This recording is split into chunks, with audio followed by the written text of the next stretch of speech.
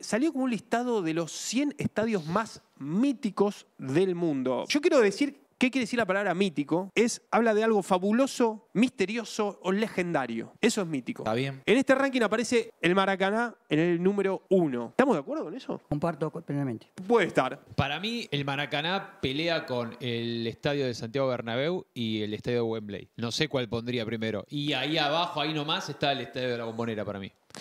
Eh, No, pero top 8 no, seamos buenos. a ver, Pero por eso, para mí, no sé si el Maracaná es más que el estadio Wembley, es más que el Bernabéu. eh, y Wembley, a ver, yo Wembley no lo veo tan, tan para primero. O sea, el Maracaná. Es mítico, o puede sea, ser. es de los estadios más como... Sí, puede ser, pero digamos, me parece que el Maracaná tiene lo suyo. A ver, el Estadio Azteca es un estadio que tuvo al, al mejor Diego, al mejor Pelé, dos finales del mundo, tiene como algo ahí medio mítico, está bastante atrás para mi gusto, pero el Bernabéu está 11 y el No, del Dortmund no, no. está 9. Y después caemos en Boca y River, ¿no? Que el Estadio de River está tercero y el de Boca está octavo. Para mí está mal el orden. Para mí, el- la bombonera es más mítica que el Estadio Monumental, más allá que el, el Estadio Monumental es más lindo. Sí, bueno, por eso, lo de lindo va por gusto, cada uno tendrá su lindo. Me parece por mítico, me parece un escándalo poner al de River arriba al de Boca. Legendario y fabuloso. Yo creo que es el estadio más fabuloso de América actualmente, el Monumental. Para más mí, que el Maracaná? En el podio, ¿Más que el Maracaná? pelea, pelea en el No. podio, sí. Eh, Los tres míos son el Maracaná, el Wembley y el Bernabéu. Bueno, voy a poner primero al Estadio Monumental. Ajá. Voy a poner segundo al Maracaná. Voy a poner al tercero, porque ahí se hizo el mejor gol de todos los tiempos, al Estadio Azteca. Primero el Bernabéu, segundo Wembley y tercero el Maracaná. El Bernabéu, la Bombonera y el tercero me parece que el Estadio Azteca por la historia que tiene, me parece como mítico, puede estar en ese top 3. Primero la bombonera, el segundo el Madre de Ciudades y el tercero el Monumental.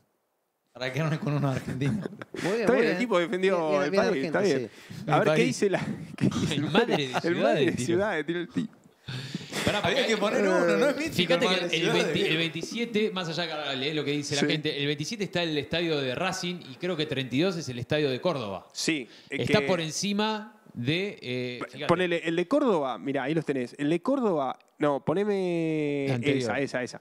El 31. de Córdoba está el mm, estadio Mario Alberto Kempes, el me 31. parece que está, sí, 31. Y por ejemplo, está delante del Del estadio estadio Maradona de Napoli. ¿no? O sea, no, imposible. Que el estadio de Maradona está imposible. 36, por lo que sé. No, 34. Pero está, si- en la otra, yo me cago de risa.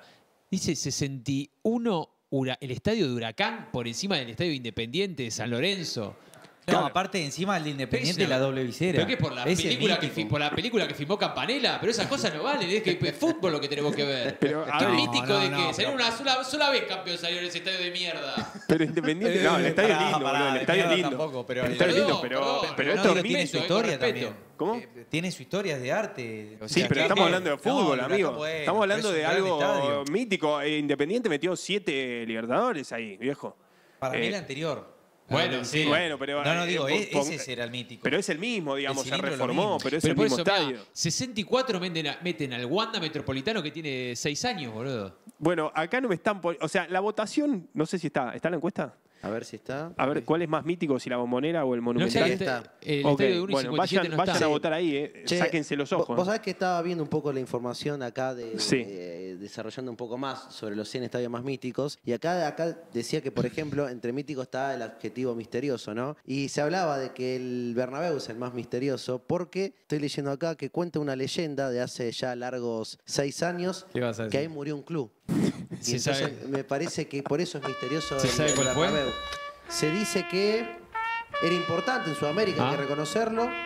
Se llamaba Boca Juniors. No, a ver, si hablamos de misterios, también es verdad que el Monumental está bien que está ahí arriba, porque es un estadio donde eh, de golpe empezó a haber un humo negro, como, como, en, como en Los, ponele, como en la serie, que nadie claro. sabía qué era. Y bueno, era que estaban prendiendo fuego el estadio, ¿no? O sea que tiene alguna cosa de misterioso también el Monumental. Está bien para mí que esté Entró ahí. Sub-Zero en Córdoba. Por eso hay que ver qué parámetros se toman. Pero bueno, con Fede por momentos nos damos Son- la mano y por momentos nos tiramos son- son leyendas urbanas. Son leyendas urbanas. Sí, Eh, pero fuera de joda, bueno, el top 1 está jodido, ¿eh? Si es el Azteca o el Bernabéu. Me quedan dudas, digo, eh, de verdad, porque ¿qué, qué consideración tenemos? sí, bueno, por eso. Pasa que según no, los él también lo dijo que se hizo el mejor gol de todos los tiempos. Es muy debatible. ¿Saben por qué por ahí no está el Bernabéu está un décimo? Porque por ahí, como en Champions, se juega siempre en distintas canchas. Y por ahí se han jugado pocos partidos en- de la historia del Real Madrid sumamente importantes en su estadio. Eso puede ¿Sabés ser. qué me